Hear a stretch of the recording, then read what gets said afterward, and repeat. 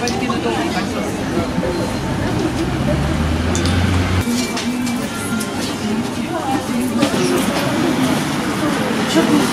Цареве Богу нашему, помилуй О Бога!